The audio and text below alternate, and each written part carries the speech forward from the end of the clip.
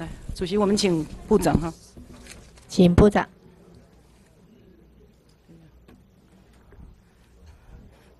啊，委员长，哎，部长早哈。你看我写的哈，尤院长不如尤院长，你知道我在说什么吗？哦，尤尤院长就是尤院长了。尤院长不如尤院长。啊，尤院长就是尤院长。是哈，我们尤院长在当这个当过行政院院长嘛？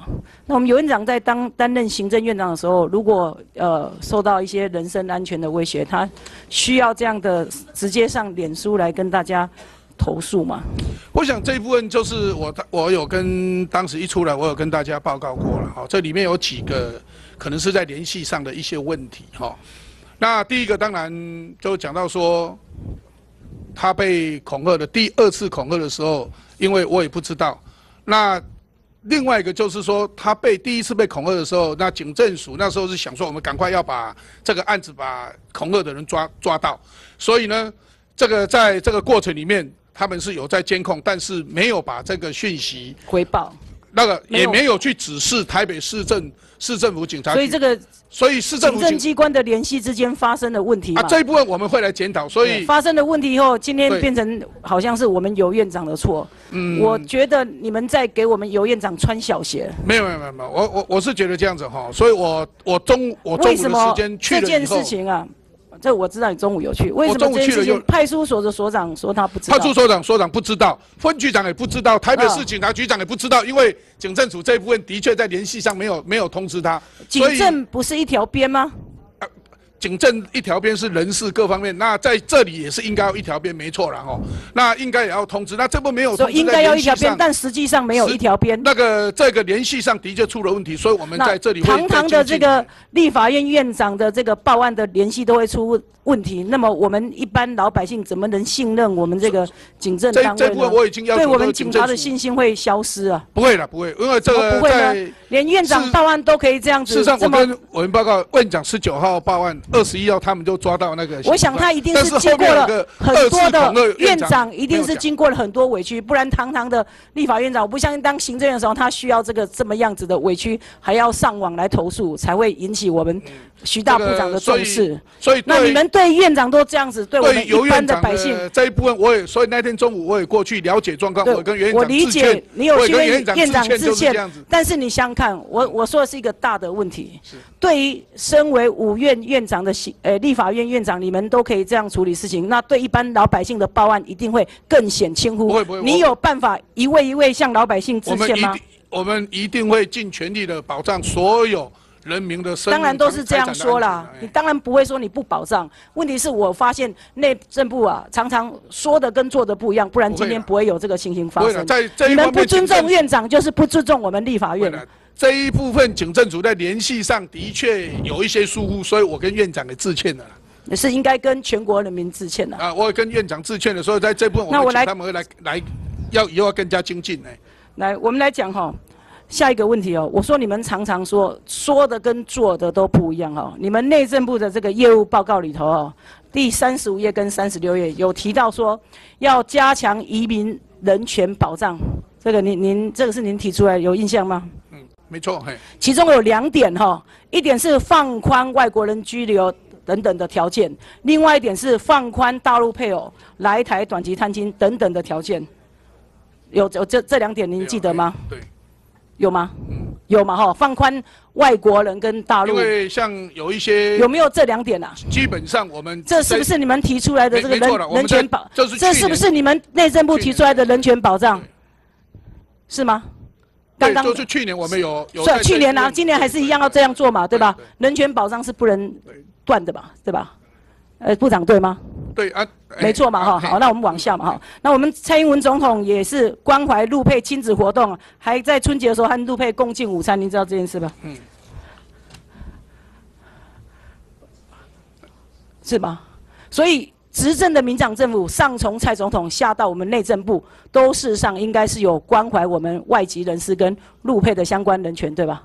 不，那为什么？应该保障，当然啊，应该嘛，的人权嘛。那为什么你们执政的民进党的立法委员要提出对大陆的这个陆配相关人士？依亲来台想健保要提出修法。他健保是要有一定的规定，那这一部分我想健保健康保障是基本人权呐、啊你们前面不是提到吗？提到不是说加强第三十五页、三十六页加强移民人权保障，健康不是人权吗？健康的人权，尤其在健康人权有限制就对了必须要有，也必须要有一些相关的一个对价跟所以你们说的一套做的一套。部。分跟所谓基本人权请问你支不支持？不能够这样子来，好来不能够这样那我问你简单一点。套上去。那如果任何人来，所有所有事情观光的，我们都给他鉴宝啊？不是不是。我们刚才讲一期呢，我们刚刚从头到尾都是该有的条件还是要注意部长我们刚刚从头到尾。我们部长，我们从头到尾都是按照你的书面报告在问的哦，我们没有讲观光哦，探亲哈，探亲错哈，也还是有前一些前对所以提要件跟在你必要的必备条件嘛。所以民党政府口口声声说要加强人权保障，但是说的一套做一套。我先请问你啦，你支不支持？我先请问你。把这个条件拿掉以后，就变成所以你的人权做一套做一套，这个是所以内政部长的人权保障来，我先问你啊我问这个问题，内政部长人权保障都是有有条件的。不哦有有一些人哦这样子权我让我生命什么想到以前是没条件，我读的一个但有一些是有问题。啊，欧威尔的说法所有的人都平等，但是有的人比其他人更平等，这个就是你的前提是吧？你那个叫做大前提不当周边之过，你在理哲学上犯了这个严啊，我想，请问你啊，来，大我想你前提不是我的理哲学老师，我请问你了。这个在理哲学有对于这个我们民进党立委提出这个修法，你的意见如何？委员的委员的修法你的意见呢、没有，我这个是你这个是这个是委员提出来这是法官那卫我是对卫立福部的要来问我，我哪里问？我要问你的看法。他们的说法是我们立法院是我们的看法卫。福部的是要卫福部来回答，你委员叫我来，你不是中央政府不是一，体哦哦，你内政部我不能听卫福部来决定他也会参考你们的意见嘛一样啊。你不能听他决定。立法院一体也不能这个好那立委不能陆好那我决定他的选票那我啊。问你啦，陆出境是不是归你管出入境是我管的啊？所以如果陆出境是要问你哦，就不能问卫福部喽。呃，啊这个是我们执行，这是我们。那要不要问卫福部法律定这样，我们就这样执行。那我问你哦，嗯我遇到一个例子，我想请问你哦，这个我们现在旅旅就是滞留武汉的台的没有办法回来嘛哈嗯，这个这个是你们有注记嘛哈，没问题嘛哈。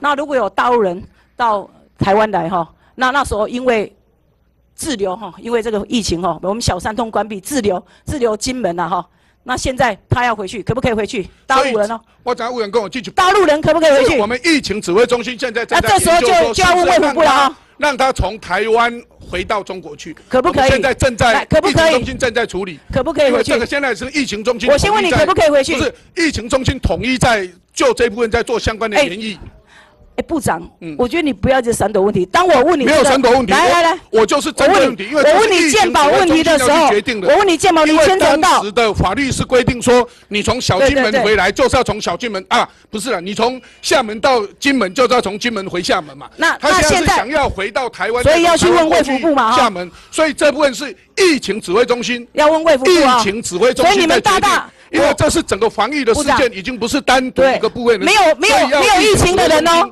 大陆人滞留在金门没有生病哦，但是因为没有生病哦当时的，他能不能回去大陆啊就是因？为小山东呢来到来到金门的这一部分，他到台湾是有限制的。那现在啊这一部分要解除限制，要疫情指挥中心来决定。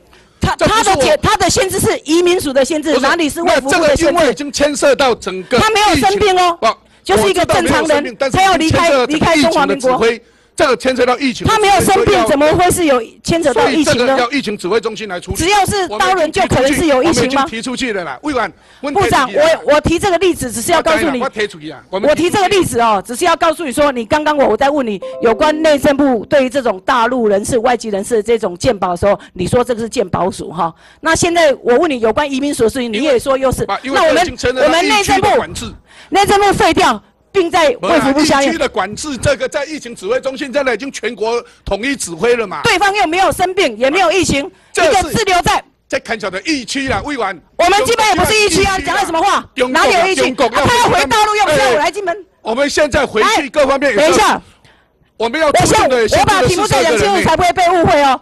一个滞留在金门的大陆人想要离开金门，回到大陆，回到他的预期，不管他是要出去哦。中国人要回去，他们说这个还要问疫情指挥中心，他没有生病哦。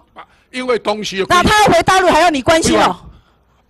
我们对于中港澳这一部分，我们是执行。所以现在任何一个人，这个是陆委会当时在整个开放任何一个人来我问你东的开放也不是。等一下等一下我们移民署是执行单位。你不要强化来，我问你我。所以现在任何一个中国人你如果在台湾，乱了嘛？另外我另外任何一个中国人如果在台湾，他因因滞留在台湾，他要离开，都要问疫情管制中心吗？的因果，因为这个东西牵涉到当时陆委会在决定小三通的这些问题。那为什么要问疫情指挥中心？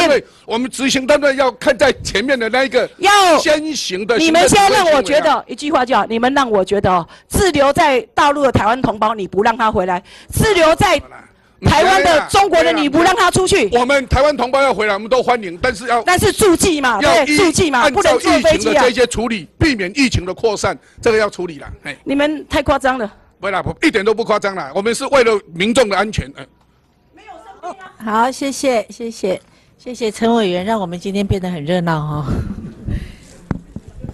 呃，我们继续请张其禄委员。